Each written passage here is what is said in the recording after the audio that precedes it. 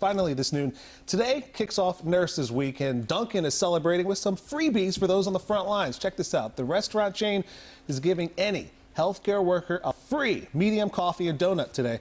No purchase necessary, and that coffee can be hot or iced. And Dunkin' has also been bringing food trucks and deliveries to various hospitals and emergency sites across the country. We have a list of deals for healthcare workers on our website, WJZ.com. Shout out Dunkin', sponsors of our cube. Hey good things, right? See you at 4 o'clock. Be well.